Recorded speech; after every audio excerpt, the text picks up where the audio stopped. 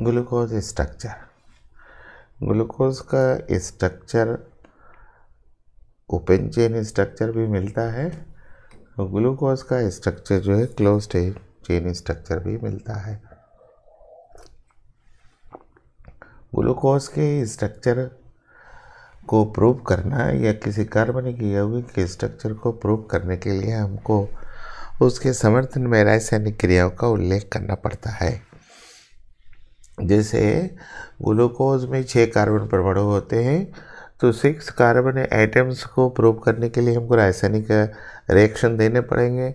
Glucose में five hydroxyl group है तो फाइव हाइड्रोक्सिल ग्रुप को प्रूव करने के लिए रिएक्शन देना पड़ेगा। ग्लूकोज में एल्डिहाइड है तो एल्डिहाइड के लिए भी हमको प्रूव करने के लिए रिएक्शन देना पड़ेगा। ग्लूकोज में कीटो ग्रुप है तो इसको भी प्रूव करने के लिए हमको रासायनिक रिएक्शन देने पड़ेंगे। हमने ये कहा कि ग्लूकोज में हाइड्रोक्सिल ग्रुप है। हम एक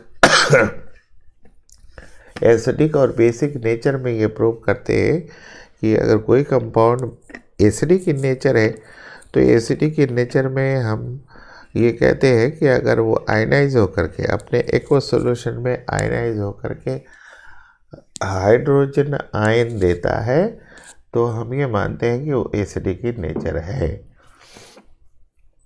और अगर हाइड्रोक्सिल आयन देता है तो हम ये मानते हैं वो बेसिक नेचर है। तो ग्लूकोज का जो स्ट्रक्चर है, उसमें पाँच हाइड्रोक्सिल ग्रुप हैं।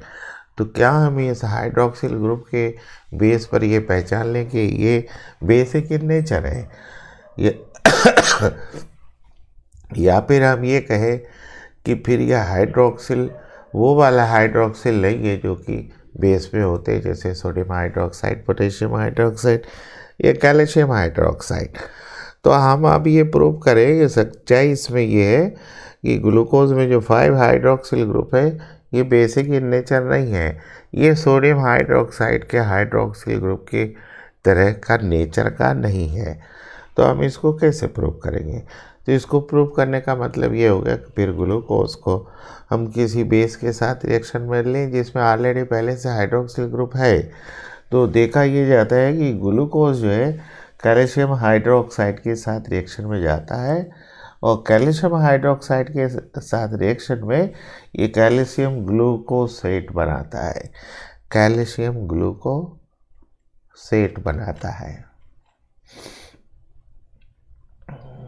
ठीक है। तो कैल्शियम ग्लूकोसेट बनाने का मतलब ये हुआ कि हम ग्लूकोज का स्ट्रक्चर लें।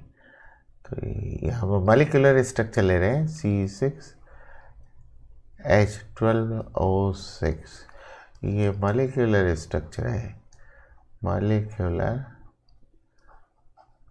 structure of glucose. ये मालिकुलर स्ट्रक्चर ऑफ़ ग्लूकोज है। तो अब इसको हम कैल्शियम हाइड्रोक्साइड से रिएक्शन में लें। तो six C six H eleven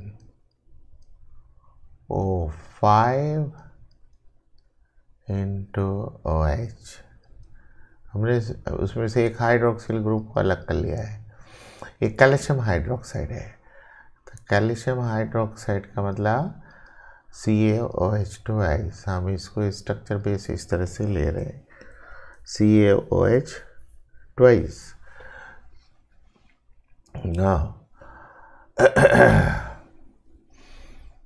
this hydrogen group combines with this hydroxyl group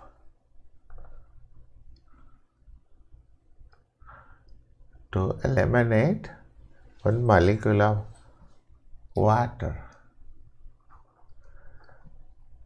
Forming C6 H11 O5 not O CA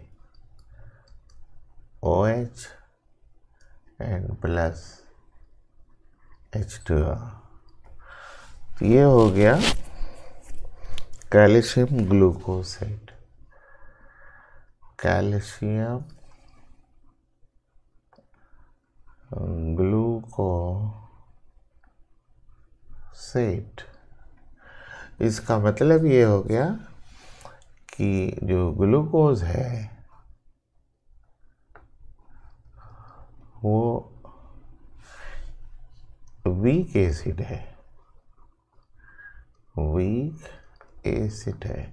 उसका हाइड्रोक्सिल ग्रुप जो है बेसिक के हाइड्रोक्सिल ग्रुप जैसा नहीं है। ये वीक एसिड हो गया। इस रिएक्शन के बेस पर हम फ्रक्टोज अगर इसको लें तो ये तो हो गया ग्लूकोज अब अगर हम ये फ्रक्टोज ले लें तो C six H eleven O five दोनों आइसोमर हैं। ग्लूकोज और फ्रक्टोज एक दूसरे के आइसोमर है, इसलिए मलिकुलर फार्मूला सेम जाएगा। तो ये हम ले रहे हैं फ्रक्टोज अब plus calcium hydroxide see then this hydrogen combines with this hydroxyl group forming C6 H11 O5 dot O Ca OH plus H two ये हो गया कैल्शियम